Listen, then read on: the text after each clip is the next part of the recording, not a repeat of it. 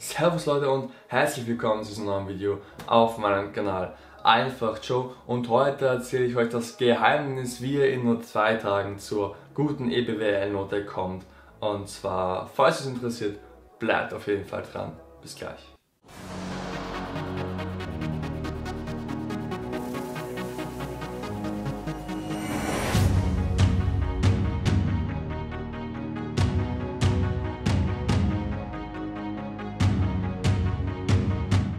So, zwei Tage Lernaufwand ist ja wirklich für Uni-Verhältnisse extrem wenig.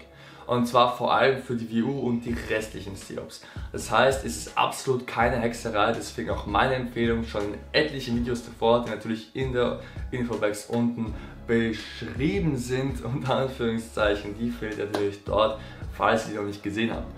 So, wie lerne ich jetzt in zwei Tagen für EBWL und schaffe einen Einser oder Zweier im keinsten Problemfall. Das heißt, es gibt zwei wichtige Komponenten. Komponente 1 sind die Folien, die ihr findet auf der Homepage. Das heißt, ihr habt diese Folien, aus den, die ihr auch aus den Vorlesungen kennt, ähm, wo einfach das ganze Wissen mehr oder weniger aufgereitet ist, die verschiedenen Theorien, was es nicht alles für Grundkonzepte gibt und so weiter.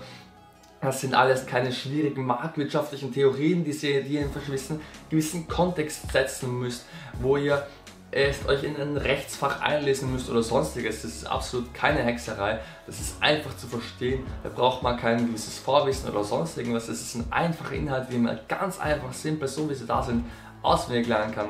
Und das ist auch die erste Komponente. Und die zweite Komponente ist Rechnen. Und zwar, ihr werdet da konfrontiert mit ganz simplen, wirklich einfachen Rechenbeispielen. Und zwar im Sinne von Cashflows rechnen, ja, Cashflow 1 ist das, Cashflow 2 ist das, Cashflow 3 ist das oder Gewinn, Gesamtkapitalquote und so weiter und so fort. Das sind alles sehr einfache Formeln, die sich in Summe auf einer Seite, auf vier, eineinhalb Seiten, auf vier ausgehen. Das heißt, auch keine Hexerei ist auswendig zu lernen, vor allem am besten zwei Tage davor. Und ja, ganz wichtig ist da, dass nicht nur die Rechenweise versteht, anwenden können, sondern ihr müsst diese Rechenweise auch trainieren. Denn ihr wollt ja bei der Prüfung diese Rechnungen perfekt eins zu eins nachvollziehen können, keinen Rechenfehler machen können und dann einfach die volle Punktzahl kassieren und das ohne irgendwelche Probleme, ohne irgendeinen Stress. Ich sage euch so, die meisten, die sich gut vorbereitet haben, werden in locker der Hälfte der Zeit fertig. Wenn du nicht in der Hälfte der Zeit fertig wirst, dann merkt man schon, würde ich behaupten, dass du dich nicht gut vorbereitet hast, beziehungsweise den Scheiß, den du können musst, nicht kannst. Aber wenn du diese Theorien einfach auswendig lernst, wenn du diese Rechnungen einfach beherrschst, am besten holst du dir, nachdem du die äh, Theoriefolien durchgelesen hast und verstanden hast und nochmal aus der Vorlesung wiederholt hast, diese Rechnungen ein paar Mal geübt hast, schaust du dir eine Zusammenfassung an. Es gibt etliche Seiten, ob Study Drive, Studo, whatever, da draußen sich nach für Seiten mit Studentenforen und so weiter gibt. Da gibt es sehr gute Zusammenfassungen, habe ich mal damals auch daher geholt und zwar von Study Drive. Sucht euch einfach die raus, die euch vom Layout am besten gefällt, die ihr am, wo ihr am meisten Downloads hat und am beste Bewertung habt. Die zieht ihr euch einfach ganz entspannt runter und ratet das durch, lernt es auswendig. Am besten ein, am Abend vor der Prüfung empfehle ich euch das alles nochmal grob durchzugehen. Macht euch da überhaupt nicht verrückt am Tag vor der Prüfung denn zwei Tage Vorprüfung reichen komplett aus.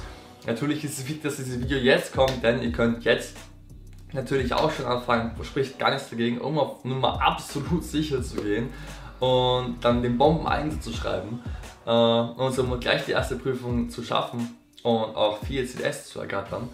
Und ja, das war schon das ganze Geheimnis. Wichtig genauso wie bei Mathematik ist, beherrscht den Taschenrechner, benutzt am besten den Taschenrechner, den ihr sonst auch benutzen dürft und keine irgendwie eure alten zum Trainieren oder keine Ahnung was, sondern genau die Taschenrechner, die ihr benutzen dürft und auch benutzen werdet. Und ja, dann würde ich sagen, wünsche ich euch viel Erfolg beim Lernen und viel Glück für die Prüfung, ähm, das ihr aber definitiv nicht brauchen werdet, wenn ihr einfach gescheit lernt. Aber trotzdem wünsche ich euch viel Glück. Und dann würde ich sagen, lasst dem Video gerne ein Like da, wenn euch das gefallen hat. Schreibt gerne unten in die Kommentare alle möglichen Fragen, Anmerkungen, whatever euch nicht alles einfällt. Ich lese jeden einzelnen Kommentar. Abonniert diesen Kanal und aktiviert die Glocke, um kein einziges Video mehr zu View und zu anderen spannenden Themen zu verpassen. Und dann würde ich sagen, wünsche ich euch noch einen spannenden Sonntag. Man sieht sich im nächsten Video und oder Livestream. Ciao und Servus.